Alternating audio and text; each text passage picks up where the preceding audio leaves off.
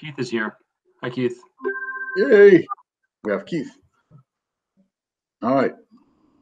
So now I guess we call the meeting to order at uh, 6:04. All right, this is, this is definitely a brave new world for me. Um, So this is the public hearing of the proposed uh, fiscal year 21 budget. And uh, of course, uh, it's public, but it's online. So uh, it looks like we have plenty of people uh, in addition to the, the people who are directly involved in the meeting, which is uh, always a good thing. Um, uh, Let's get started. Uh, Can we get a uh, motion to approve the minutes? February 4th? I move Motion. to approve the minutes as written. Outstanding. I'll second. All in favor? Any- Aye. Aye. Aye, outstanding. All right. Aye for me too. Um, How's, uh, how's the signing of financial warrants gonna work? So just to play, it- can I play it back, Greg? So basically, when you do the, we're doing the public hearing, we'll do the hearing first, and then we'll talk about, then we'll go into the regular business of the meeting directly following. So the first thing, uh, we kind of, even approving the minutes, we skip the, that portion of the budget. So basically, you want to do the public hearing. So having, I recommend having Shelley kind of do an overview of the, the last version of the budget. And then it's the time for the public to weigh in if they want to. And then we'll go into the financial warrants and then all the, the business of the school committee that afterwards. Does that make Sounds- sense? Sounds just right to me. All right, it's just, yeah, it's the, it's the confusing thing, especially this way, where we didn't, All right, so Shelley? Okay, great. Um, so I'm going to share my screen. That way I can um, display the narrative that we're working on.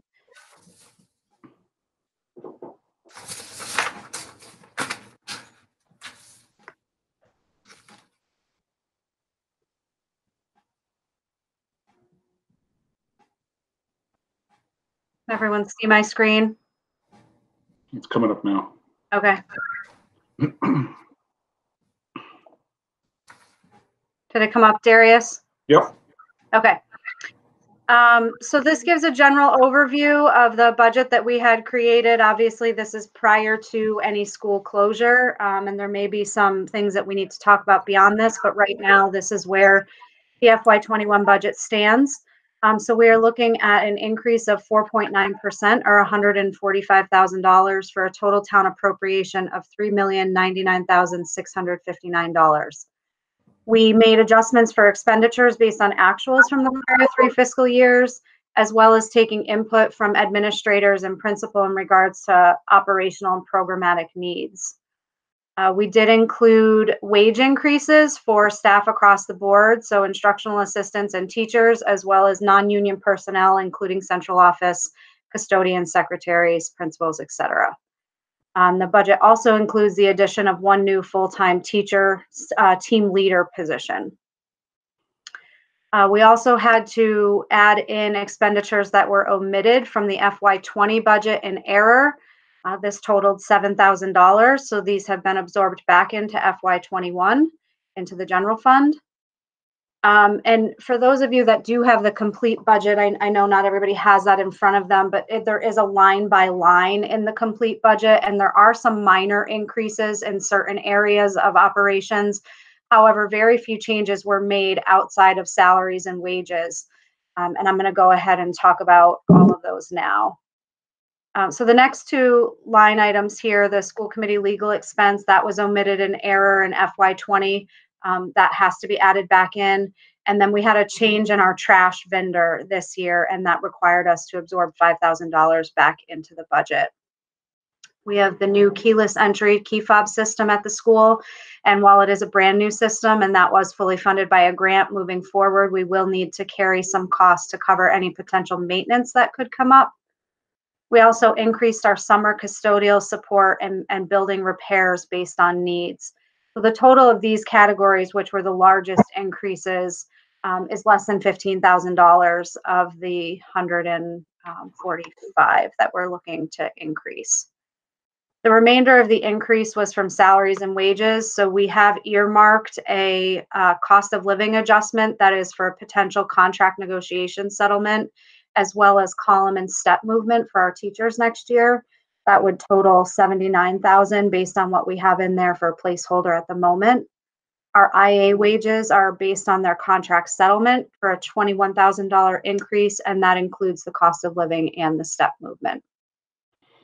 We had um, a speech and physical therapist staff both being paid out of our special education revolving funds.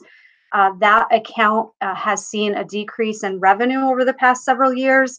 And based on what we have for tuition coming in in that program next year, we it required a reduction in the salaries and wages that were on that sped revolving fund. So we've moved off 45,000 onto the general funds as that account can no longer continue to support um, all of the salaries and wages. And then, as mentioned previously, uh, we have the addition of one, full-time team leader position. Uh, that is an increase of roughly $55,000. That's where we're anticipating this position would be hired at. Um, I would let, ask Ben to speak to that further if there are questions, but it is in support of um, the special needs of the students and in support of the staff at the school. And then we have a wage increase of $7,700 anticipated for non-union personnel, um, which includes anyone in central off, administration, um, principals, custodians, et cetera, secretaries. Um, and then we also have a decrease that's to be noted. So a lot of these expenses have to have something to offset it. Um, it's really just moving funds around at this point. It's not a reduction in the number of IAs. We just changed the funding source for two IAs totaling $40,000, moving that money onto school choice. Um, so addition to the general fund, uh, Sunderland Elementary will use revolving and grant funds to fully fund the school's total operating budget of $3,648,494. Uh, those other revolving funds include school choice, uh, special education revolving, school lunch revolving, um, grants, and early childhood revolving, and any other small revenue sources that we can capture throughout the year. I know that was a lot of information and I talk a little bit fast, so I'm certainly happy to review again or take any questions.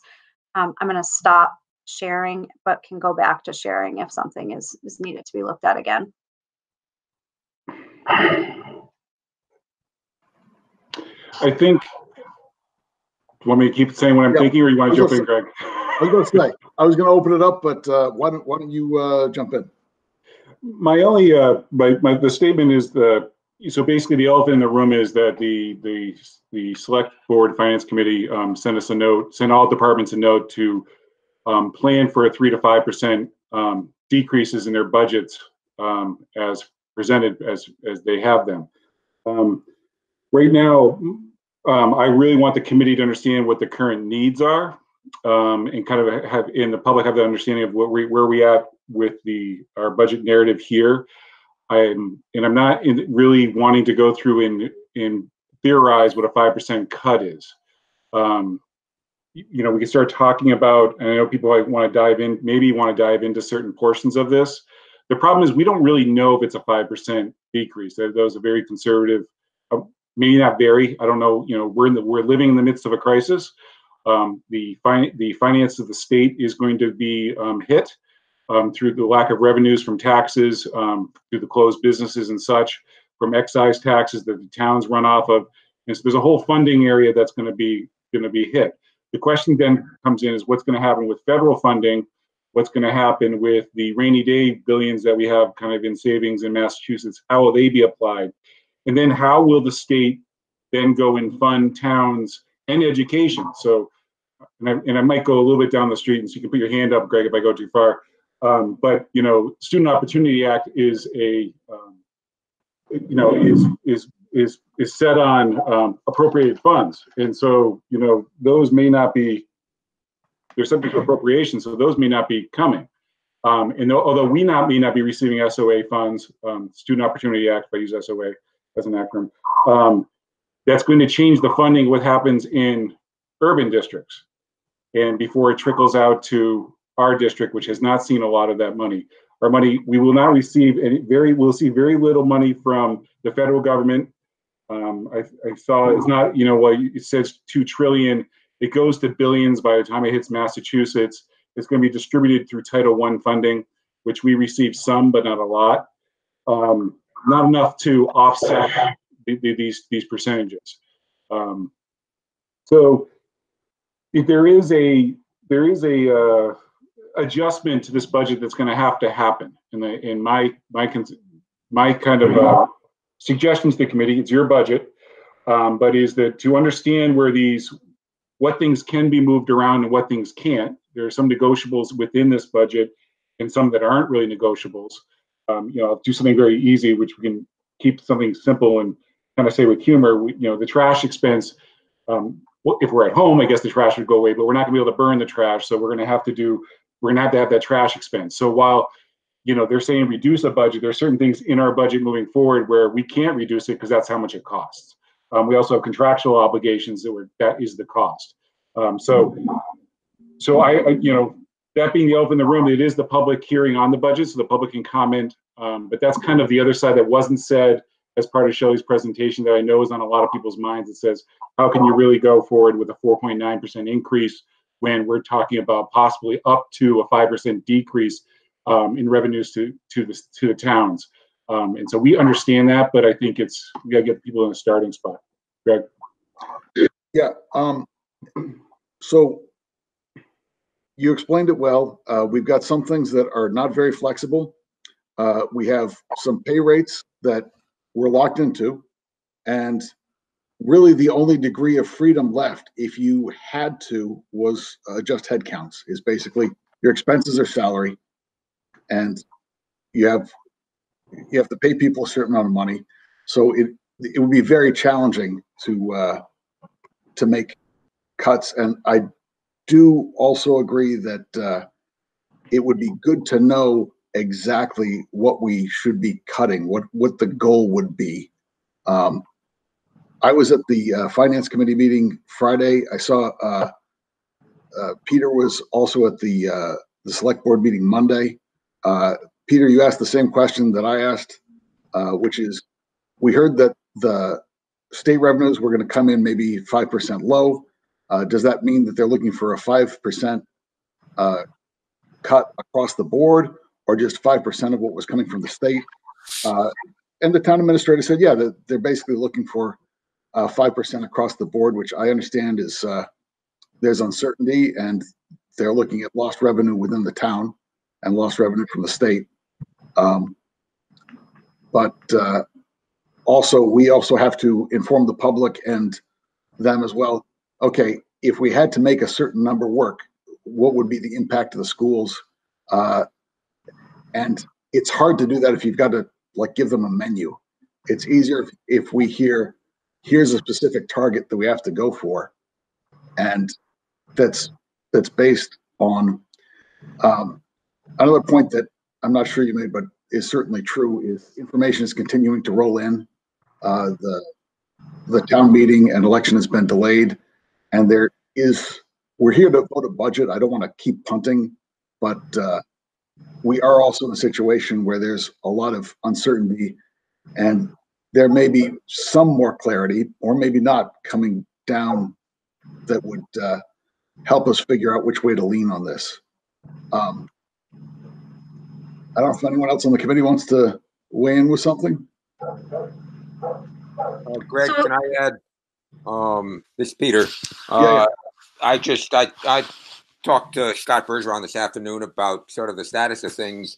And, uh, you know, this is very much a, an early stage in this whole thing. And, and we don't know yet with any, uh, any, even the slightest degree of certainty how things are going to look. And so I don't think there's any expectation on their part that this evening we're going to do, be producing anything in terms of a, you know what a reduced budget might be or so on it's just uh, to realize that the situation is uh, is very uncertain and as we get uh, once we get some firmer indications from the state about what their numbers might be like uh, then it'll probably be time for you know all parts of the town all town departments and the schools to to, to really start figuring out what we're going to have to do. But i think at this point it's way too early and uh, I know that Darius and Shelley and Ben have been thinking about it, but beyond that, I, I think, you know, what we're doing here tonight is um, is really just dealing with the with the budget that, as Darius says, is the budget of what we need, and um, um, you know, move on with the other stuff as it becomes uh, uh, more clear what it is our target is. Well said. And I think just for a procedural, where as people are watching, it, in our district, we've gotten to the habit of having the public hearing, then after the public hearing, voting the budget to move forward. The only the only uh, committee that has to do that just procedurally is Frontier. Frontier is by law has to let the towns know 45 days before the first town meeting what their budget is moving forward, so the towns can plan appropriately. Um, our budget is more fluid, and even though we've gotten the habit of voting the budget at the end of after the hearing, after getting the final public input, last year we didn't do that, as you remember as well, because we had uh, a lot of budget movement going on as well. So, and the fact that the town the uh, the town meeting has been moved off to Jan uh, to June. Um, again, gives us more time to to wait on those numbers. I think from the state because when we start talking about those numbers, you're talking about a percentage. Each percentage point, and I'm looking at you, Shelley. You can't tell that my Brady bunch here of people. Um, I'm looking at you, Shelley, but I believe it's around thirty thousand is a percentage point. So one percentage point is a very it's a it's a it's a position or a significant cut. Is that a right number to use, Shelley? I- I'm just, yes, about 30,000. So I think it's just under. So, um, you know, so when you talk about five, per- you know, five percent, um, you're talking about one hundred fifty thousand dollars.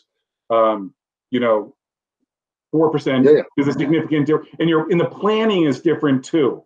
It's not just how many. It's not a list. I want people to understand from a- an administrative point of view.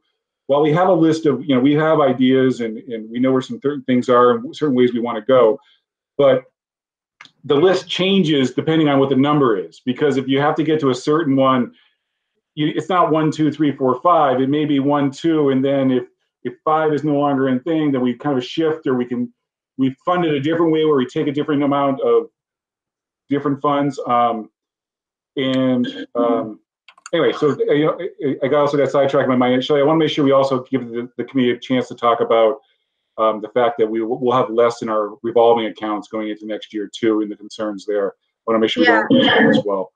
Um, So- but it came to me in the middle there, so I didn't want to. No, that's okay. So, that's just I just want people to think think about those the numbers there that why that way, and that's why it's important we also get the exact numbers from the town. I don't like just three to five percent. I want you know we need to make a goal of this. The school needs to cut, you know, five hundred dollars, and then we say, oh, how are we going to find five hundred dollars? And, and I'm very optimistic. yeah, and I, I do think that while we don't have a lot of wiggle room in this budget, that the majority of our expenses are in salaries, some of which are contractual and other ones are not, and then those minor increases that we talked about. I do think we have some room for movement before we go into looking at any type of staffing cuts. You know, Greg, you had originally started talking about, you know, we're talking about reduction in numbers and, you know, we certainly could have to go down that road, but the hope is that we wouldn't have to do that. And I do see some areas where we could um, bring that number down, um, not to not to level funding, which is really what they're asking us to do. If it's a five percent, is to level fund, and um, that's not likely going to be possible. But I do think that we have some other revenue sources. Um, you know, we we certainly could talk about use of more school choice funds. Um, we will have to talk about some of the things that Darius mentioned um, with our other revolving funds, particularly early childhood, and what the ripple down effect is going to be from the loss of tuition in early childhood this year to next year. I think that we are um, too far away from knowing where the town needs us to be to go into a lot of those specifics, but I also don't want to frighten anyone that you know we're immediately cutting. Um, Thank you for saying that. I, I, I was maybe out of line there. Let, let me put it this way. I, I don't know how to get to level funding without doing something drastic. But, uh, but if we can agree on a different number, then absolutely, then we'll, we'll see what can be done in the middle. Yeah, and I think it could very well come down to if they really want 5%, I think we will have to make some hard decisions. Um, but the goal would be to use every altern- alternative way to get to that 5% before we're talking about any reductions in staff.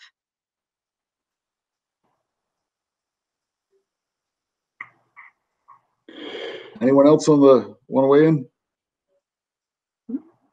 Also, make sure we open up public comment if there's anybody. Yeah, I was from the about to go. public Yeah, that's, yeah. uh, Just. Um, so let's see, we have, uh, we have people who are maybe on the phone and then, uh, probably a number, uh, on computer, I, I guess, uh, I think the easiest way to be, if you're on a computer, to jump in and hit chat and just say you have a question or you'd like to make a comment. Um, and if you're on the phone, first let the people on the, we don't have a lot of phone people. In fact, I don't see any phone people. we're all on the computer? They're all on the computer.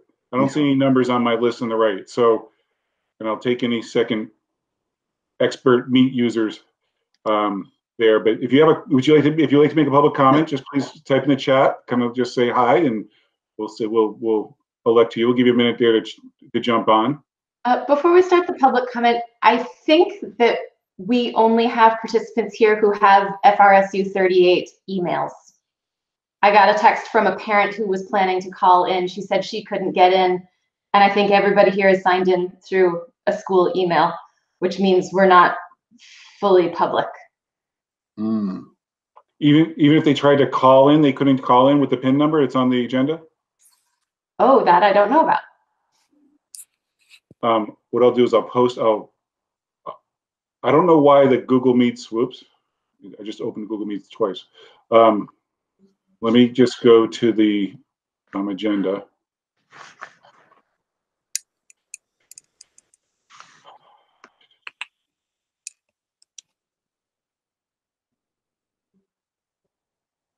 And I accidentally shut it when I opened up the wrong thing.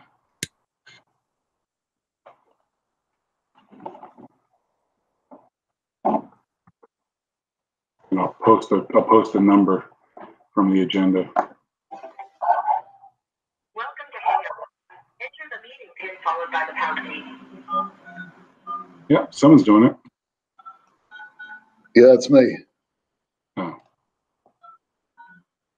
Thank you. You are muted because a lot of people are on this call. Press star six to unmute. This call is being recorded and streamed. Press star That's fine. All right, so it is, it looks like whatever's on the posting, it is possible to join by phone, but perhaps not by computer. Thank you.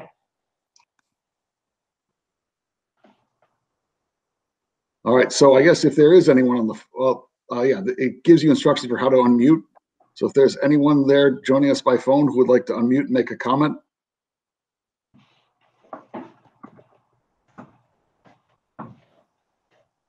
All right, well, unfortunate. I don't think we have anyone who's called in. It's everyone is Yeah. on a computer right now from what it looks like. So, um, Darius, what are you working on?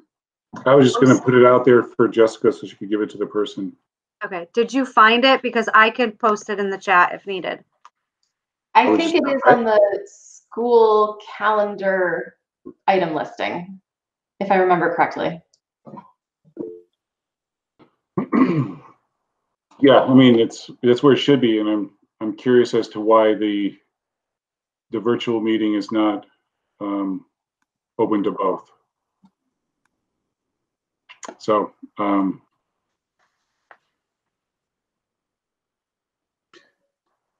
All right. Um, so it looks like we're not going to get any public comments.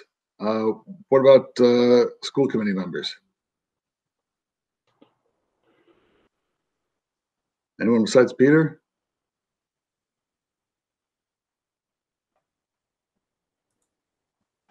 Maisie, Jessica? Yeah, what do you got, Keith? It's- So it sounds like what I'm hearing is, a- I I anticipate that there will be cuts next year. What it sounds like is making cuts right now might be a little bit too early until we have more specific numbers. So what it makes sense to me is voting this budget now as the budget we would like, and then having to make those adjustments as we get more solid numbers in later. Uh, that, that sounds like what we're all sort of coalescing around, right? Peter's points about the, the information coming in and, uh, um, let's see. Now, I guess we're doing this slightly out of order. In that case, do we want to just go ahead and vote the budget? Or we would entertain a motion for that? As is, or do we I think you need to close the meeting first, close the hearing first, close the hearing first? All right, which you can just do. uh, in that case, the hearing is closed. Thanks, everyone who joined us. And, uh, we'll proceed with the school committee meeting. Oh, actually, we just had someone join by phone. Who is muted, perhaps? Oh, I guess they didn't want to comment. All right, uh, so the hearing is closed and on to the school committee meeting. Um, so are we back to the, the warrants? Yeah, I, I can certainly talk about the warrants. So um, first thing is I did share the uh, general fund and school choice expense reports electronically. So if there are questions, I'm happy to take questions about those. Um, but as far as warrants go, uh, I don't have warrants to present today. They're being worked on. Um, if we had had our joint meeting, we would have um, had them ready to present if we were in person. Um, but they're not due till the town until Tuesday. So Michelle is currently working to put everything together with all the appropriate people that present warrants to us. Um, we're looking at moving to an electronic signature for warrants. Um, we test, tested it out. Whately was the first run today. Um, they had their virtual meeting last night and agreed to go ahead with Adobe Sign, which is a legal uh, form of electronic signature. Uh, we were up, able to upload all of the warrants and all of the bills directly into Adobe and then blast it out from, uh, it comes from me through Adobe Sign to the school committee. Um, and the other thing that I'm asking you all to do, like uh, Whately did, and we'll be asking the other school committees as well, is to assign one person as um, the signature on warrants moving forward, at least while we're in this closure, so that we don't have to try to collect the three signatures every time that we have a warrant to run while we're out. It'll also help us during the summer months, or if we have to cancel a meeting over the winter. I don't have to email you and ask three people to come in. We can send the electronic signatures out, and it would be available for everyone to review. You'll all get them. And if you want to sign them, you certainly can. But say, for example, um, Greg is voted as the one who's going to sign, all we would need is his one signature to go ahead and move it through the town versus having to wait for three people to sign it.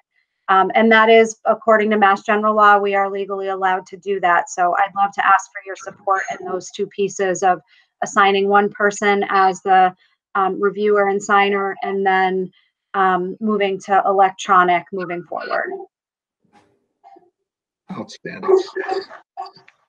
Is that something we have to vote or can we just agree to it? I would ask Darius legally if they have to vote on who is the signer. That piece you probably have to vote on. Um, the electronic signature piece, I, I think is just an agreement. All right, You're muted, Darius. Sorry, I was not paying attention in class. I went and grabbed my wife's computer who doesn't have a Frontier account. Um, and she was able to join. excellent. So, all right, I gotta shut that off. Oh, and now you're echoing. But, so I just wanted to make sure that we weren't out of compliance for the, the public hearing section of this meeting. So I don't know what that person's problem was. At least there was not a, wrong address for the Google Docs, which was my immediate concern that we'd have to repost another public hearing on this if it wasn't accurate. And that kind of proves that it- you can, you can log in. Um, and maybe that person had some other issues. So regarding the, um, there's two things that's happening with, with the, the Google Doc signs. Um, the signing rather of the, not the Google Docs, the doc, doc sign. Adobe sign. Adobe sign is that we can eventually go to a committee that signs solely that way. Until we get there, we're asking do we elect one person as we get through this kind of crisis period? Um, and then we're going to see how it, it works. And then in the future, um, uh, you know, Shelley was talking about this is how they did it at Chicopee where she worked last. Um, all documents were done digitally.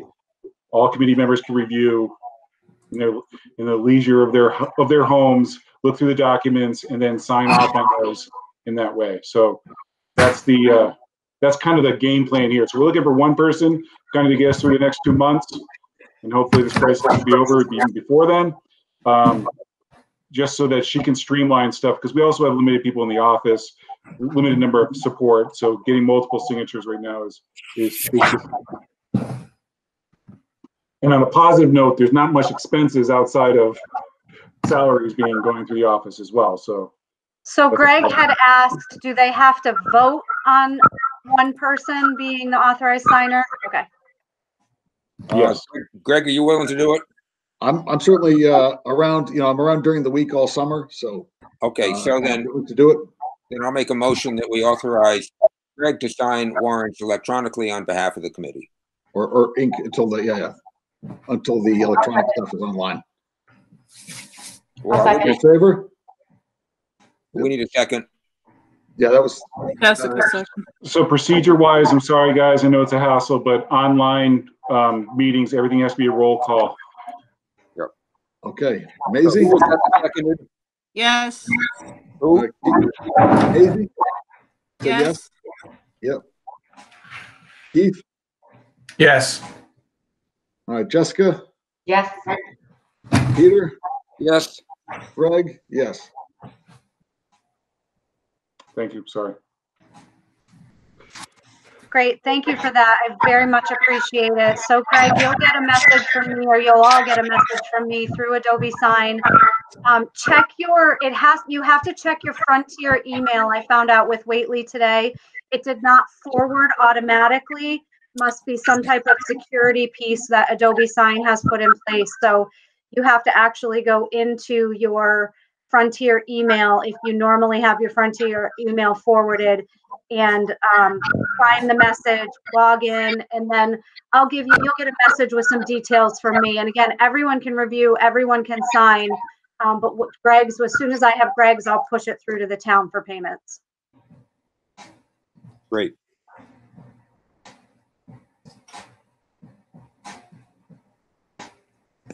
Can I ask Shelley?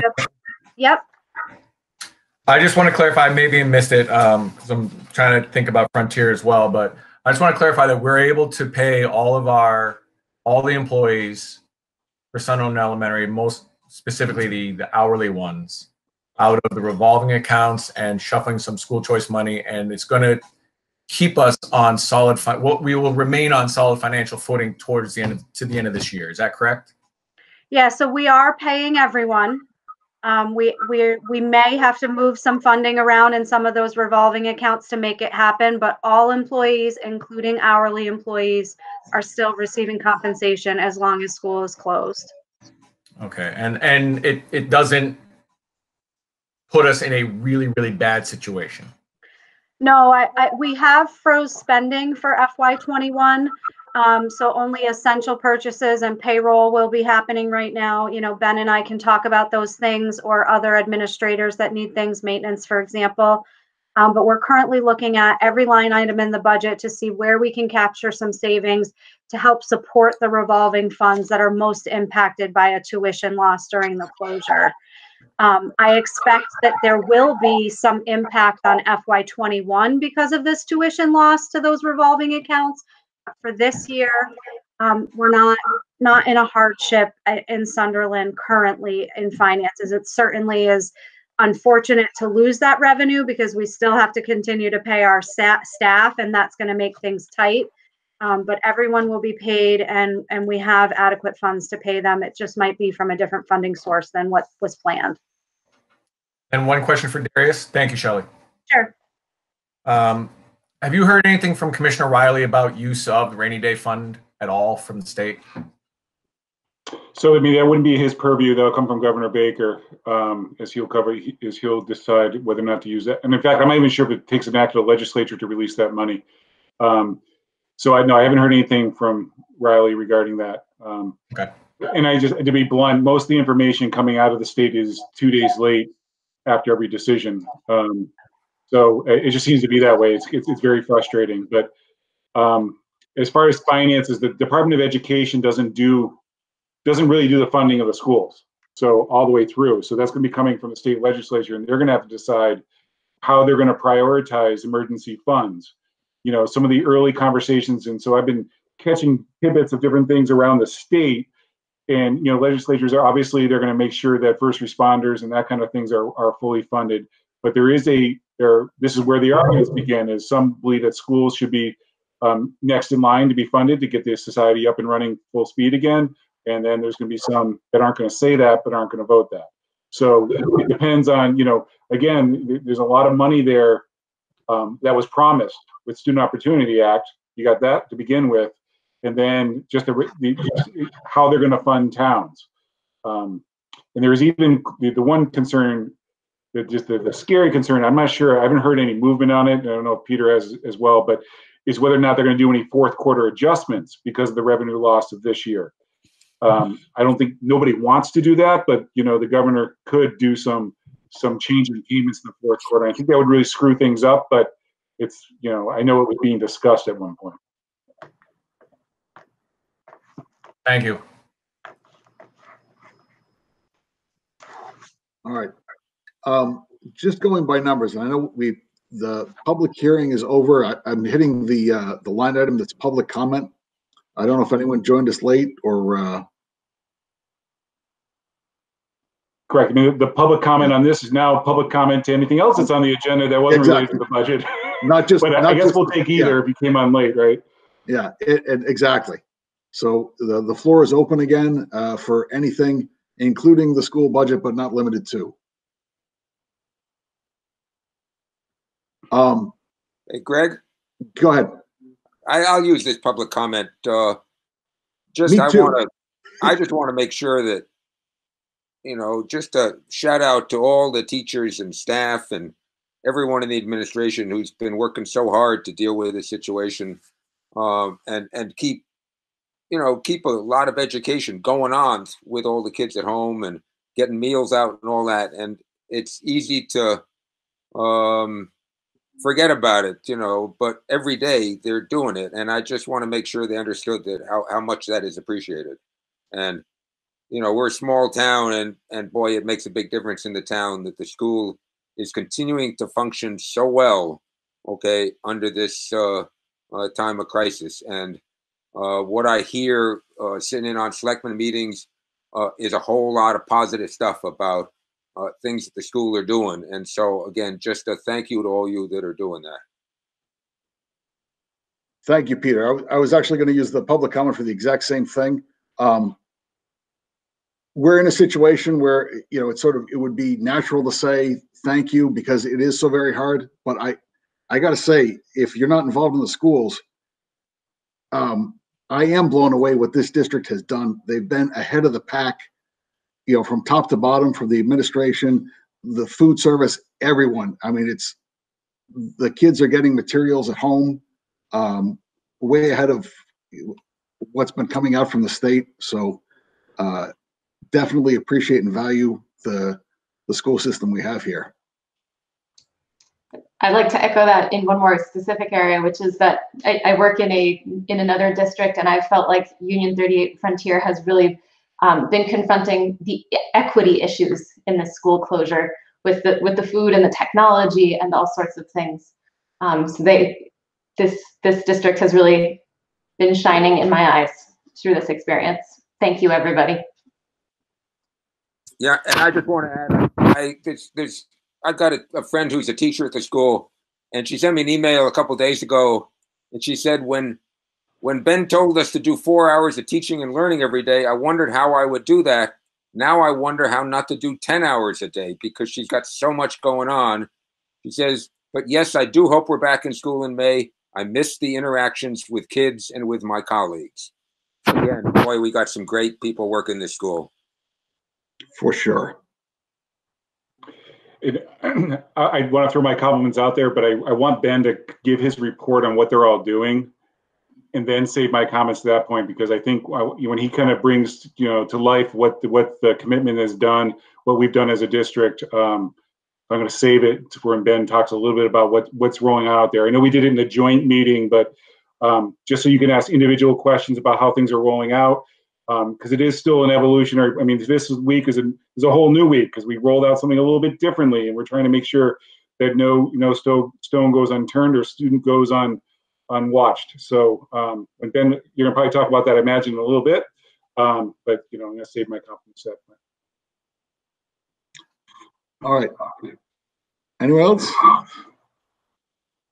All right, uh, next on the agenda is, uh, unfinished business. Uh, further discussion on the proposed, uh, FY twenty-one budget. Anyone want to say anything more on that before we move on? Nope, okay. Um, let's see, discussion and vote on the policies. Sorry? Greg, can I make a motion that we Yes. approve the uh, proposed uh, FY twenty-one budget? I think we need a motion and a vote. Yes, we do. Uh, and, uh, second? I'll second it. Uh, all in favor? I guess we got a roll call. Peter, Yes, Keith, Yes. yes, Maisie, Yes. Jessica, Yes. Greg, yes, so that's five zero, right? five zero. All right, just trying to keep minutes here too. So, uh, discussion and vote on the following policies. Uh, JBB Educational Equity, um, JB, uh, Equal Education Opportunities, JFABD, Homeless Students Enrollment Rights Compliance, uh, JFABE, Educational Opportunities for Military Children, uh, and JFABF, educational opportunities for children in foster care. So in a nutshell, you can vote these as a block. The other committees did such. Um, these, these policies, again, um, it's been a while since we talked about them, but it's, it's really just to make sure that we don't, that no student is harmed by their situation coming into our district, um, whether or not they be transplanted by, due to military service, transplanted due to homelessness, or um, being part of the foster system. You know, basically that we make sure that our policies um, get the students where they are and they don't get punished for where they're from. Um, you can see it, especially could happen in secondary. I think I explained this the last meeting, but you could move, be moved from one school to another, not have enough credits to graduate, had no control over that, and then be basically punished by your home situation. So this is just making sure that there's no, and also also no boundaries in getting those students enrolled and educated as quickly as possible um, within it. So that's kind of the general idea of all those policies.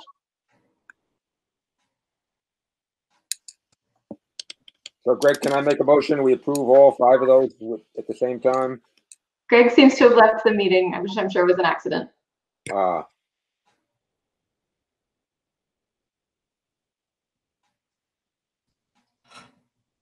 Jessica, you've been called into power. right. POTUS has gone down. Did you kick him off, Jessica? No? Would somebody like to move to approve these? We still have a quorum. Yeah. Yeah. I'll second. Would you like to Move to approve the five policies named. So I made a motion, and who seconded? Keith? Keith. All right. Um, Greg's back. Greg's here just in time to take the roll call. So Greg, we've uh, moved and seconded to approve these five policies. Unmute yourself, Greg, and then the roll call. Greg, you're muted. It's a good feature to have when you roll, when you get online. There we go. I got, I have two mute buttons. Sorry. Uh, yeah, Jessica, Yes. Peter, Yes. Keith, Yes. Maisie, Yes. and Greg, yes. Five oh, thank you. Thank you.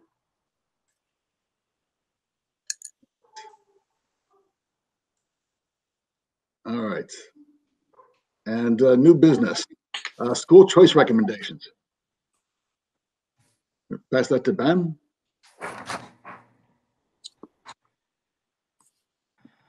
Hi, everyone. Uh, good evening. So you should have received the school choice recommendations um, for the 2021 school year. Um, you'll notice that the highest number is in kindergarten, and that which is typically the case. Um, right now, we have 16 kindergarten in-town residents who have registered for kindergarten, and another three additional um, school choice students who have registered, um, who have siblings in the upper grades, um, with the projected class size right now of of 19. Uh, if you recall, around this time last year, we were around the same number. And uh, what we found over the years is that um, through the end of the school year and over the summer, we have um, we have additional students register for kindergarten. Um, so we're still looking like it will be two classes for next year as well. And then all of the other grade levels either have one opening or um, two openings um, as uh, shown in the document that I provided you. Um, the, the change in past years is that um, for some grade levels where we were um, due to need or the size of the, the enrollment at that grade level, we were not in, uh, recommending any openings. But this year, um, we need to have at least one opening, um, and that's for students who potentially are moving, uh, current Sunderland residents who are moving out of town. Uh, do you have any questions on that? Yeah, Ken, um, obviously the other thing that we don't know at this point is what sort of, uh, you know, new students may be getting from the new development on Route 116. And so I assume that you've, you know, left it, left some wiggle room here for so that, you know, assuming that they are spread out over the grades, that we can then handle it. That and also knowing that, you know, there's a very good chance we're going to be out for the remainder of the year. And our current students um, are going to need all the attention um, that our teaching staff can can provide them to catch them up. Right. Uh, Ben, just to check, I got one um, recommendation on April 3. The going recommended openings was like 441113. And then I got another one on April 6th that going down was 121112. Just yeah, wondering and if so the, the one on the four six is the is the correct one. That's the updated version.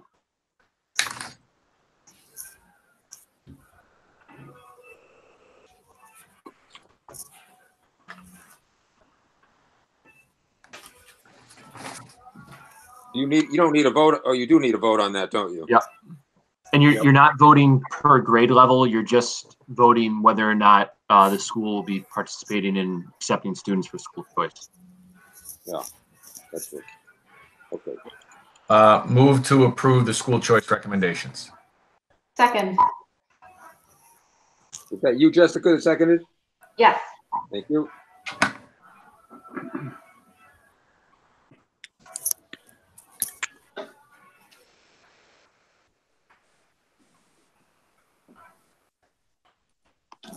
Peter? Uh, yes?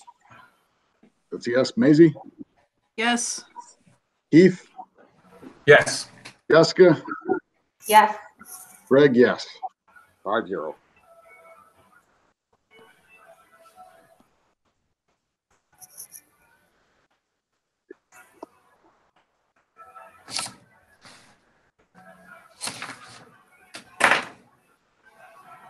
All right. Uh, capital project. Um, there's, I, I can give you the following update, Greg. Um, number one, the selectmen, obviously everything is Yeah. running at a later schedule than usual because town meeting having been put off. Um, the selectmen have uh, got a draft warrant, uh, and there is an article on there uh, to uh, have uh, capital, you know, a list of capital projects like we've done the last several years. Um, but the actual projects have not been specified. However, there's now scheduled for next Tuesday evening a meeting of the Capital Planning Committee, uh, which I plan to attend. I assume it'll be a virtual meeting. Um, and so um, hopefully there will be some progress at that point about uh, picking out, again, what specific projects we might want to do. I think there's a recognition uh, among the leadership in the town that uh, you have to keep uh, paying attention to your capital stuff as well as your operating budgets because uh, if you don't, that's how you get in trouble. So um, it's just that the progress on this is coming a little later than it would under a normal year. So I'll keep you posted as stuff uh, happens there. And since it'll be a while between then and our next meeting, what I'll probably do is send out an email to the committee uh, just with information, not for discussion, just to keep you all posted. Um, and I think that's perfectly okay under the open meeting laws. So that's, that's the plan anyway, and we'll see what transpires. And it may be that, you know, I'll need to get Ben or Darius to, to come, you know, be part of that virtual meeting in order to make sure that we uh, speak up for what the school wants to do. Outstanding. Uh, any other uh, committee? I, everything's up in the air now, but I assume no other uh, committees have met or the collaborative or anything like that? We we skipped over the first reading of a new set of five poli, five new policies. Ooh, you're good catch. Let's go to that.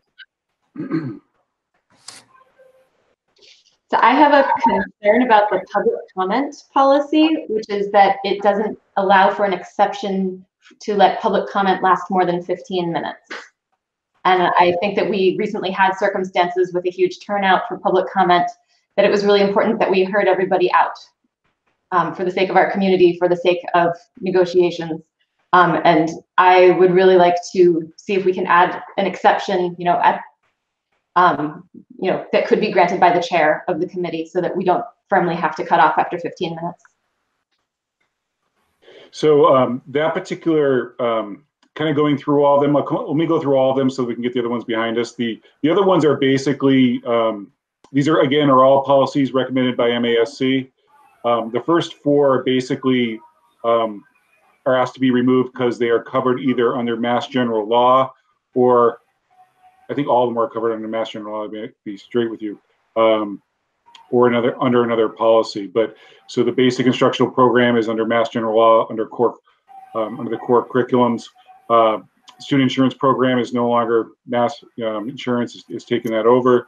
The guidance program is no longer relevant, even though there is guidance programs that exist. Um, then student gifts and solicitation is under, is, is a law now, under the ethics law. Um, the public comment one is, is the one that is gotten the most conversation around school committees because um, if you go through it, it's most complicated too because it, it goes through it. The red is the changes that they recommended adding. The cross out is what they're adding. The cross out, and what was what's in black is what was the original policy. Um, I did reach out to school counsel because uh, Frontier had a problem with they want to be able to waive it um, because uh, they want to be able to waive it at the chair because sometimes you only have one or two people. You have a you know more commonly than not, either a, maybe a teacher's there to just add one little comment on something or a select board member's there. And we, we, we like to have that kind of free flow conversation. Um, and they want to be able to waive it. So I brought it to uh, Adam Dupree, our attorney. He's looking it over. He doesn't like um, what Jessica brought up. He doesn't like the um, other wording, and he wants to contact MASC to understand their their logic under that portion of it. Um, so he's going to give us a different version to look at again. So I was going to make that comment when that came forward. But I had that conversation with him. Was it this week or last week? Um, amongst you know all the other stuff, because I was asking him about changing the language um, to create an exception um, around those rules. And so um, he, I think he did when he talked to me. Also commented 15 minutes. Sometimes you can go over. You know, it says you can go over the three minute mark, but not the 15 minute mark, and that should be at the discretion of the committee. So we'll get those changes in there. So I think there'll be another reading before that goes. Yeah, Oh, yeah. That's great, thank you. But that's coming, the changes on that, some people are wondering the timing of that, you know, we've had some very public meetings with, with more participants in, in recently, than, in past years. It has nothing to do with that. This has to actually come out of a case, I believe, at a Worcester where there was some people that were hijacking meetings um, and not letting the school committee commit business. And so they, they try to change the law because they challenged the, the policy or whatnot. So that's where that's coming out of. So it's not, not a reaction to, um, one would think one equals one, but that's not, one equals the other, but that's not the case here. So we'll get better clarification, get a policy that we all can digest. So there's no action, you're just talking about them. Any other comments on other policies? All right, then, uh, principals report.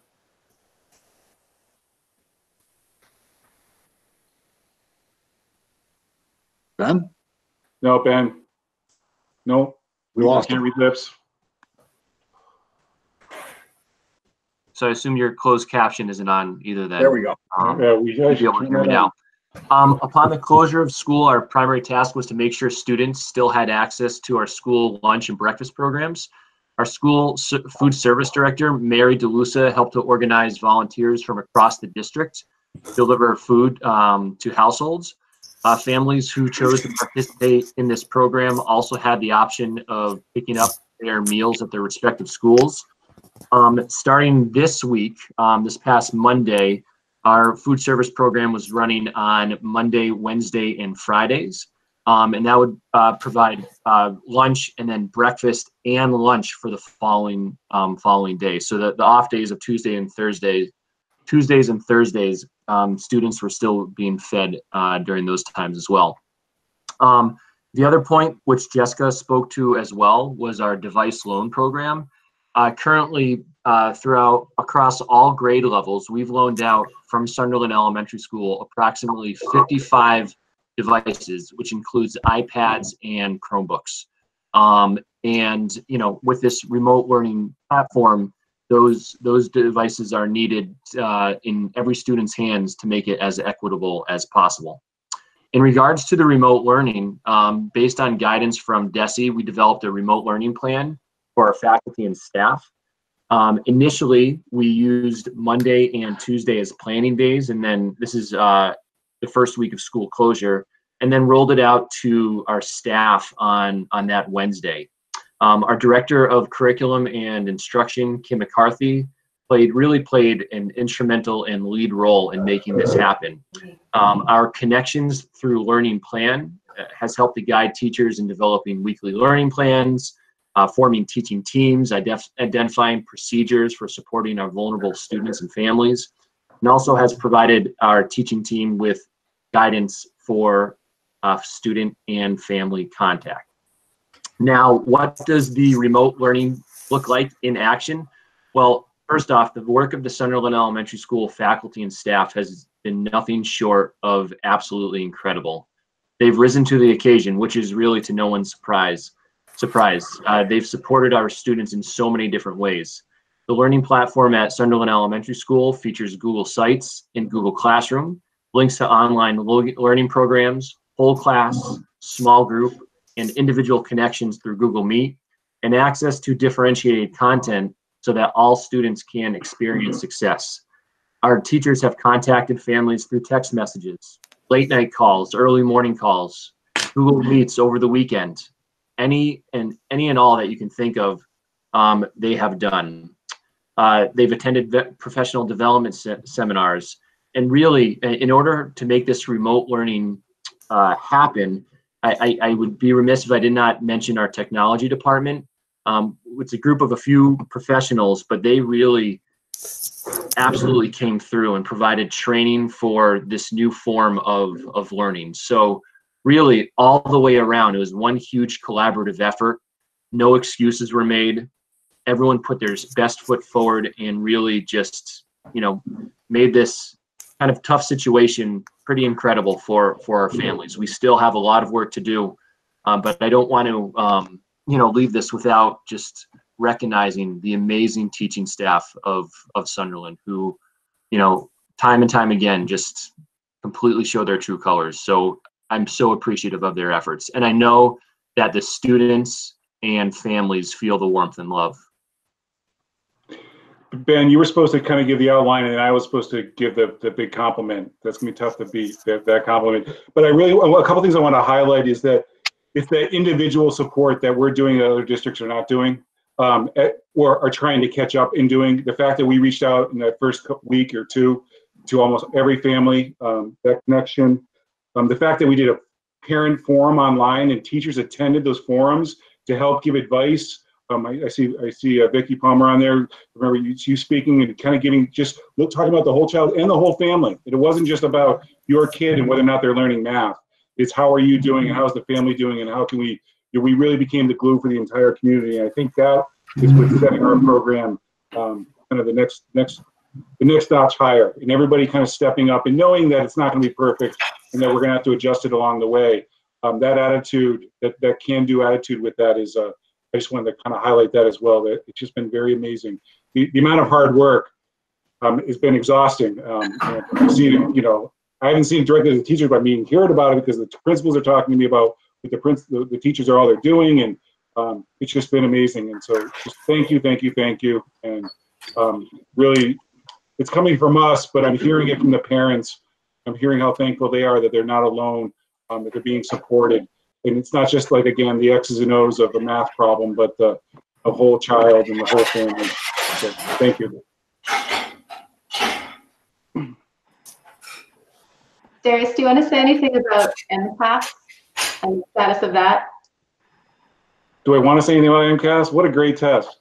Um, no, um, the, uh, so right now, according to the, the, the, uh, according to uh, Riley, the commissioner, we have approval from the federal government to not give the test. Apparently, um, someone's doing the dishes. Um, apparently, um, we the Massachusetts has another loophole has to jump through. It has to file special legislation to give Commissioner Riley the ability to either change the test or cancel the test. And in that language, I know there's been some communication out to the MTA about concern that the um, the test may be still be coming. I would be very much surprised. I'm not the one making the decision. Commissioner Riley is, but he's really from the beginning kind of talked about putting the test aside. That shouldn't be a priority. Um, I don't know where the politics are happening on that in the state, but um, most of the other states have gone off the federal, um, the, the, the, federal government giving them leeway not to give the test this year. So I think it's just a matter of getting the X's and O's in place. So um, I'd be very surprised if we're giving that test in any capacity this year. Hey, Jan. Yeah. Just stop the smashing around. I can hear it on the.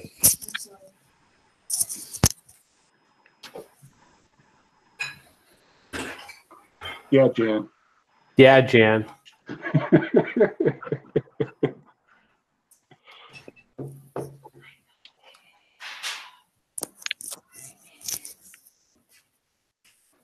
Uh, Greg, I don't have a, a superintendent's report. It's kind of all the other stuff that's been going on. So um, going down the agenda. Looks Um, like Keith had his hand up, maybe with a question. Yeah, just a couple of points. Um, so one, to echo what both Ben and Darius said about the, the amount of, of work the teachers have put in, you know, so I, you know, as others here are involved in this, my wife's involved in it. It's been really hard. Uh, it's basically learning things on the fly and trying to implement them within about five minutes of learning it. Um, there's been very little separation between home and work now. I find I'm checking email, online, uh, Google Classroom, night, all day long, beyond kind of what's uh, been requested. Uh, so it's been uh, it's been very hard, but uh, the teachers, both in my district and from what I've seen from my my kids at Frontier and what I'm hearing at Sunderland, it's been a lot of hard work, and it's it's been really really impressive what the teachers have all done. Um, some other things to think about on the other hand, one of the things that the MTA has kind of come out with is a recommendation against um, uh, video learning.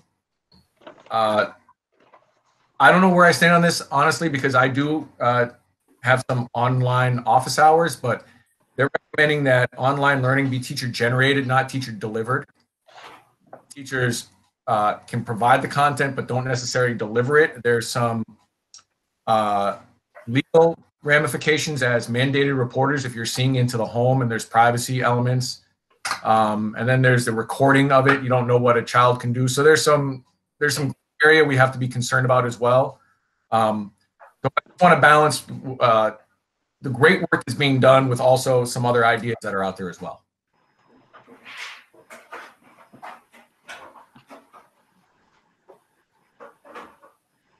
You're muted again, Greg. A- Any reaction to that or comment on, on that concern? Is that something you guys had on your radar? So yeah, we, we've discussed a lot of those things. Um, you know, the, you're reading the news about Zoom bombing and stuff. That's why we're not, you know, at one point we were trying to get Zoom and we put the, the brakes on that. Um, Google, um, you know, Google Meet has upped its capacities and, and, and has increased its uh, abilities there. Um, I kind of keep it, I'll give you my philosophy of it is that I'm trying, we're in a very difficult time where it takes kind of the community to pull it together. And um, I'm trying not to put the barriers in place without the solution. And a lot of districts are getting caught with the barriers um, within those kind of things. Um, you know, again, you know, the online learning thing, it depends on how you deliver it. Our teachers are providing a full list. Some of them are just doing meetings and meeting with the students as part of the social emotional. Some are doing a little bit more with lesson lesson teaching and stuff. You know, it depends on the grade. Um, some are providing activities for the kids to do with the parents and then kind of report back those activities. So it's kind of a whole smorgasbord. Um, and again, my kind of the, my philosophy on that is that there is some there is some legal concerns. We talk about 51As and people seeing inside of homes. You know, I did send out a a, a notice to parents that basically to kind of give the, the general review that they're you know when someone student goes does go online that there is expectations.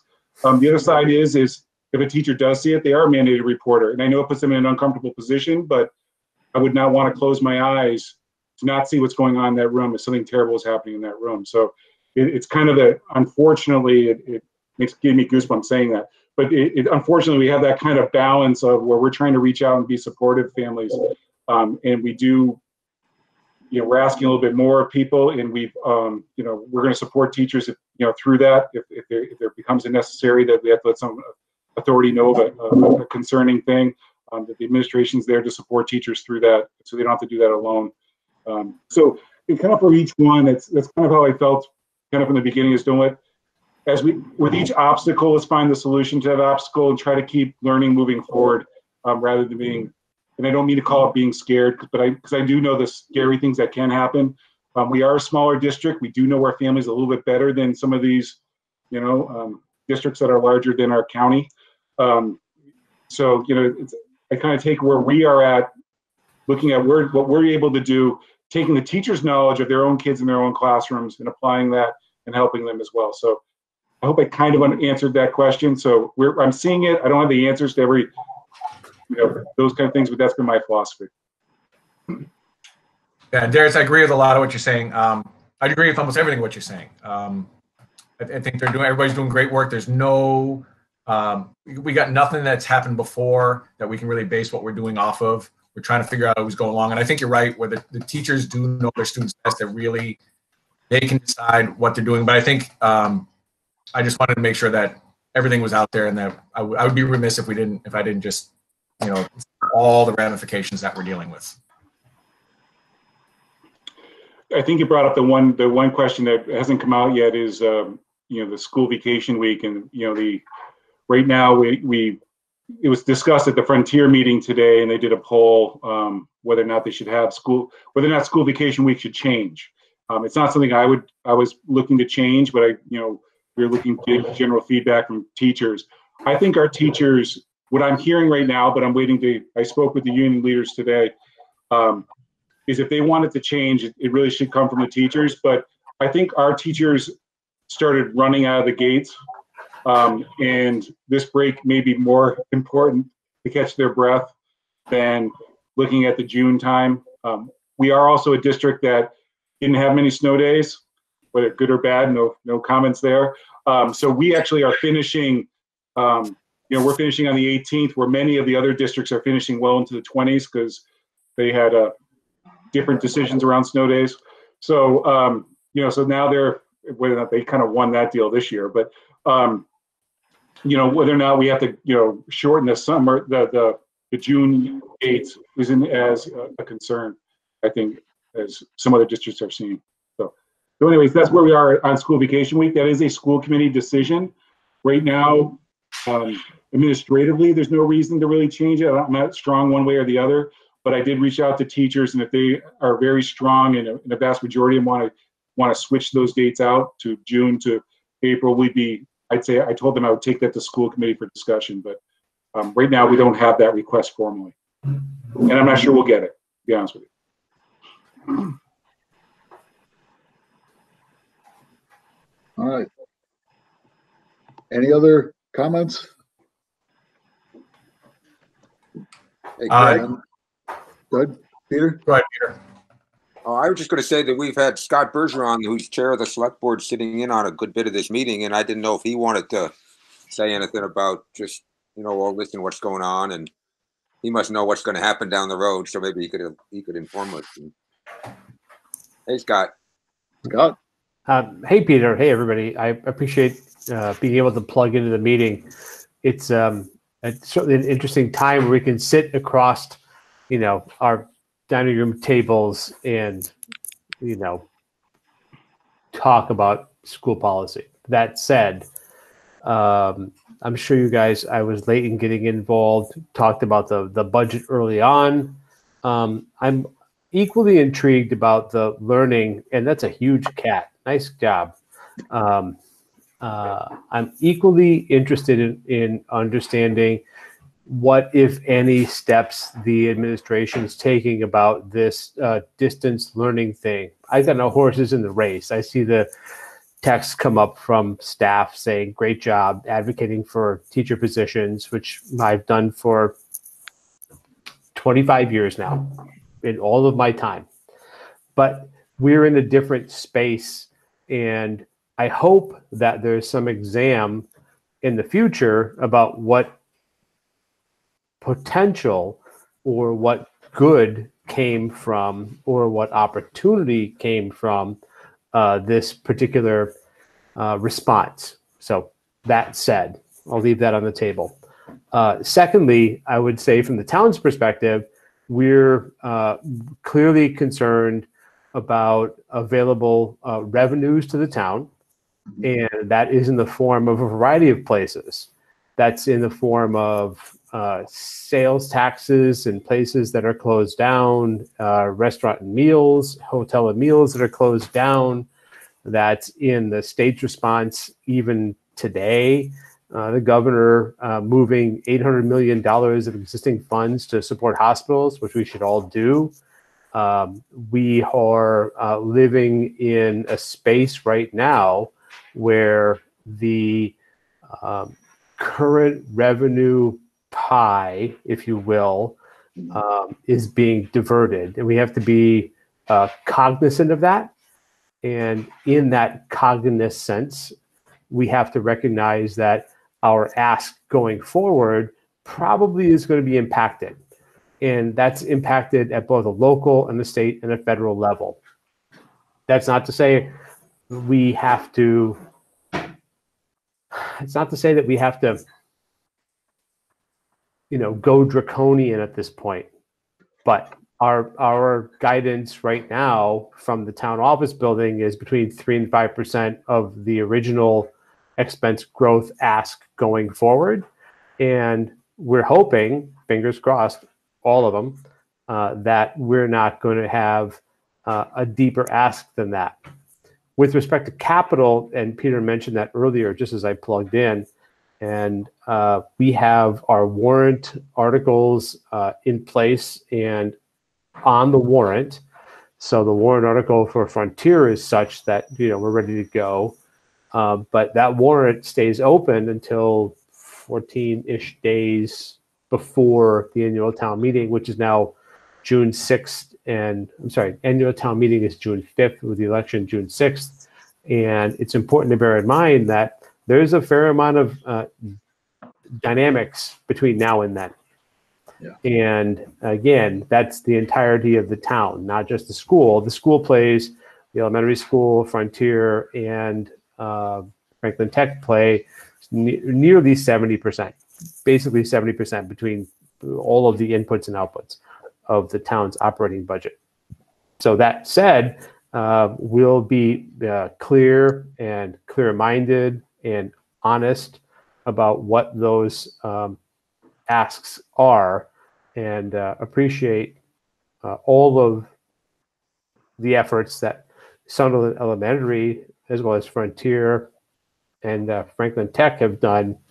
Uh, but we have to be ready for June. So I appreciate the opportunity to talk and as a public comment period.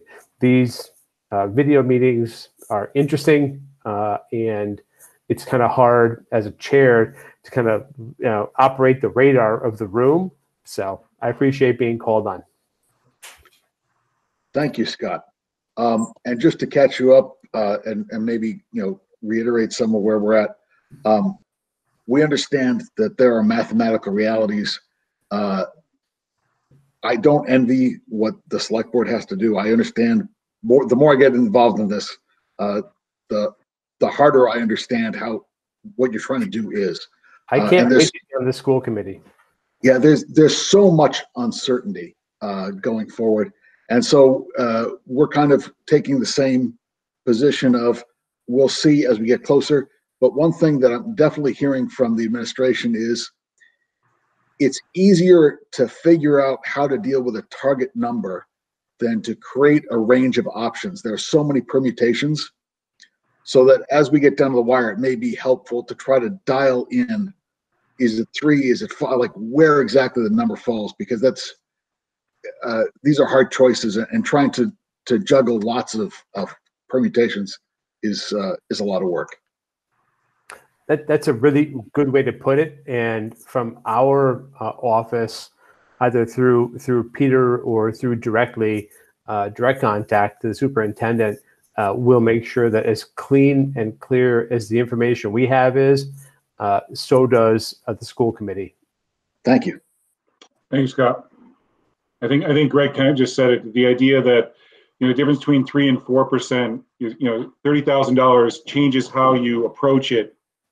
You know what I mean? It's not just a one less tool that you're buying for the toolbox. You, you change the way you're going to approach the tool. You're going to, you're going to approach the project rather than looking at the tools in the toolbox. So that's why, you know, it's better if we have a, I think we're gonna, we're gonna wait and kind of see where the, the funding comes to see what the state does, see how it's going to address education, because as we know, there's a larger ripple effect. We talked about it a little bit earlier about how, um, how they, if they're going to take, they're going to attack one set of money and how that's going to have to be backfilled with another set of money. And, and then the ripple effect in, in trying to figure that all out, um, we, you know, we're going to do a little bit of waiting and seeing.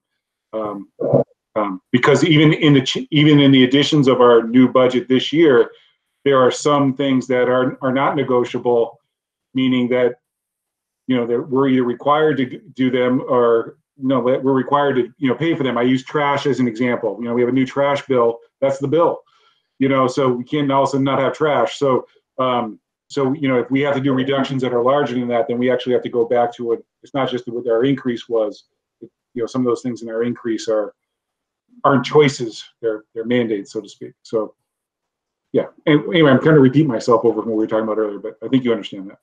No, that, that- that's a really good point. a Really good point, Darius. And I think the important part of that is to recognize that the, the town and the Sunderland Elementary and its support uh, to the district, you know, is, has been demonstrated over time, and will continue to do that.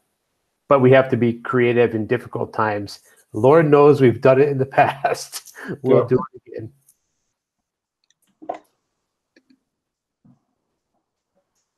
all right Thank you, Scott.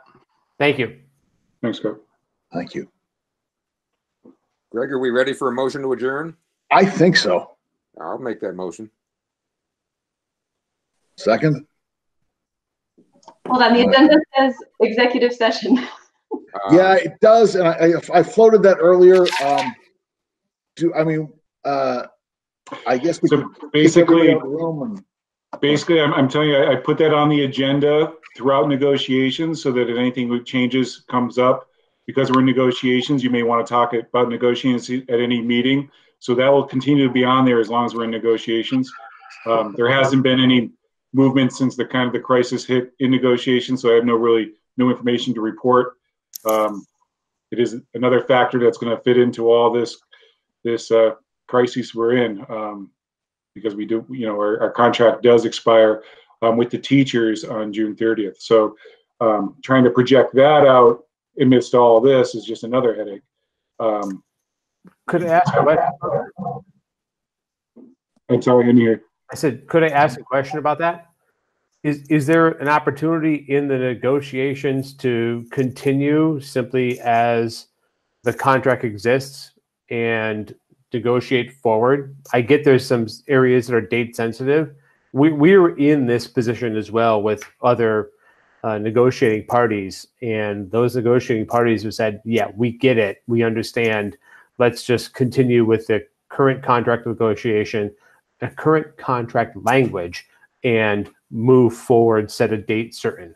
Yeah, so, so basically by our, the way the contract works now is by, basically by the, the laws of the contract is that we continue to operate under the old contract until a new contract is um, awarded. Or- or Agreed upon. Um, so, um, we were in that position halfway through this year where we were running off the old contracts. Teachers would receive their steps. Um, but however, there would be no COLA adjustment is that's the, that's the other part, but we run off the language of the old contract. Um, and that's what, that's what, that's what we did, had to do this year, um, until we settle upon a one-year contract. And, um, if we don't, we don't formalize some sort of agreement prior to the thirtieth, we will be doing the same thing as we work on the next contract. So some MOU and then move forward.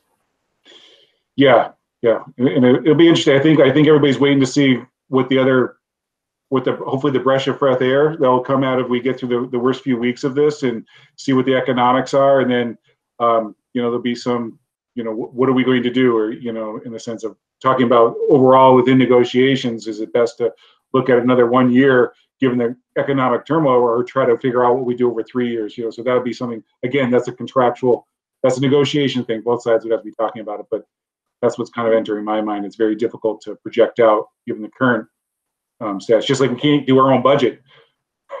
How can Right. you do three years of whatever? So No, If I could, if I could, Mr. Chair, weigh in again, that, that those, those realities, it's important to bear in mind from the municipal uh, budgeting perspective, and you guys are in municipal budgeting, totally understand it, the impact you have. Uh, there is not just the current year as we end the uncertainty of the future year, but the reality is that we live in an 18 month budget cycle, right? That just, we're negotiating multi-year contracts based on an 18 year, I'm sorry, 18 month revenue cycle. And in this cycle here, who knows what's going to happen come July 1st? I, I applaud the current administration uh, and their approach toward leniency for things like postponing town meeting, having budgets go past July 1st. I mean, if you think about it, it's the first time in my 20 years now having a, an annual budget cycle that's based on a monthly expenditure report. That that's that's jaw dropping in from years past, and that's what we're being allowed. So we hope we hope that this cleans up and clears out going into July 1st or immediately thereafter. But that's that's the kind of thing that negotiations have to have in the mix. Thank you, Scott. And I, and I know it's not easy. I totally yeah. Outstanding, All right. Thanks so much, Right. Mr. Chair. certainly. Um, any reaction to that, or shall we, uh, I, I think there was a motion to adjourn?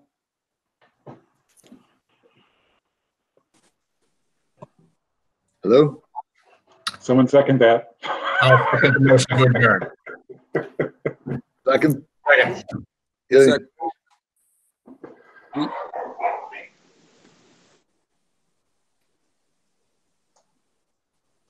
All right, all, Maisie, Yes. Jessica, Yep. Peter, Yes. Keith, Yes.